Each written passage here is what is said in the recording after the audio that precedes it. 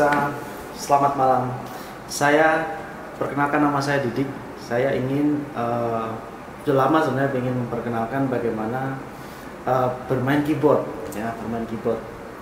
Ya saya terus terang saya bukan anak sekolahan, saya tidak pernah kursus, saya tidak pernah uh, sekolah musik dan lain sebagainya. Karena memang ya uh, ya demikian adanya ya. Dulu minta sekolah musik ke orang tua, orang tua bilangnya untuk apa sekolah musik? Kamu jadi apa?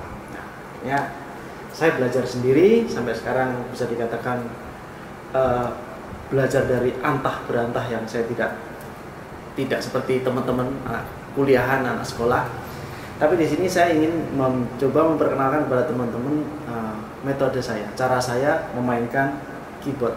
Tentu ada banyak cara di mana uh, kita bisa bermain alat ini Nah, melalui channel saya ini, melalui Voice, uh, saya ingin berbagi pengalaman bagaimana cara saya bermain keyboard, bagaimana saya memaksimalkan alat ini. Saya menggunakan uh, keyboard saya ini Korg Micro Arranger. Saya menggunakan Korg Micro Arranger. Ini mungkin sama dengan Korg yang tipe PA50 ya.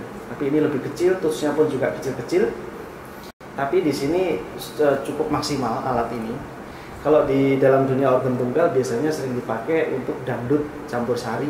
Ini sangat bagus ya, cukup lah ya, cukup. Dan mobile bisa dibawa ke mana-mana dengan gampang ringan.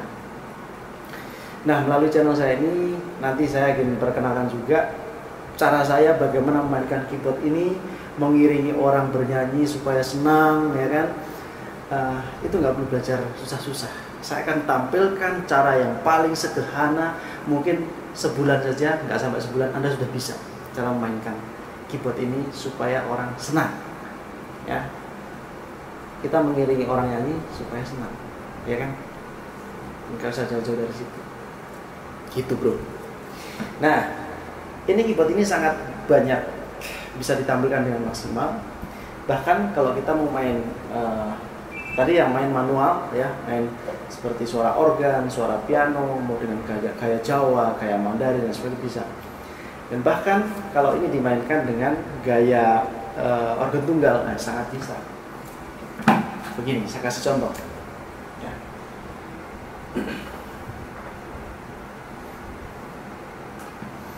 ya.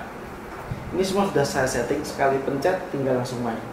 Ya kita coba kita mainkan ya. Intronya saja sudah lengkap dia komplit ya.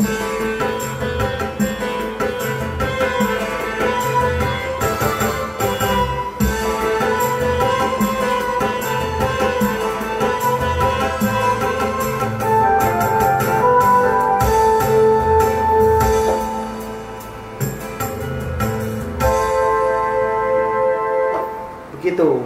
Ini sudah lengkap komplit. Jadi kita mainkan dengan uh, satu tombol dia sudah bisa bermain semua. Di organ tunggal satu lagu itu satu style. Satu lagu satu style. Satu gaya musik. Itu sudah sendiri-sendiri. Jadi kalau ada permintaan orang nyanyi itu tinggal pencet lagu apa. Intronya sudah lengkap semua. Saya juga pernah membuat style-style beberapa lagu yang menurut saya saya perlu bikin ya.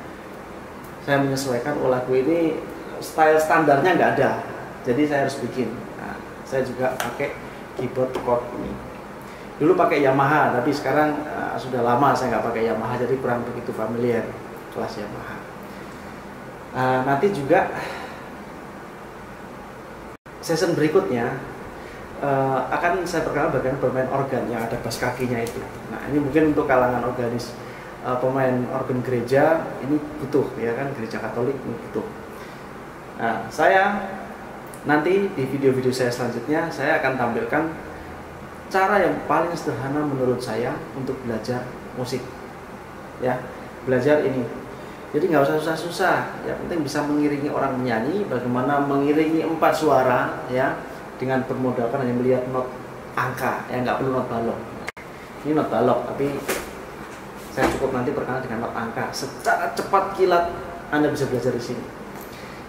Saya sebelumnya juga mengajar les privat organ ya. Tapi nanti selanjutnya siswa saya saya arahin supaya kita belajar dari sini saja. Kita melihat video uh, nggak perlu bayar gratis ya. Cukup subscribe dan like. Gitu bro. Nggak usah susah-susah belajar. Sekarang banyak fasilitas bisa kita manfaatkan untuk belajar. Baik saya kira itu dulu pengantar saya. Uh, semoga anda tetap mengikuti channel ini dan ikuti terus channel saya untuk belajar dari yang paling dasar ya sampai Anda bisa mengiringi, mengenakkan lagu, menyenangkan orang ya kan. Itu. Demikian uh, pengantar saya, semoga Anda tetap mengikuti channel ini dan salam L Voice. Dah.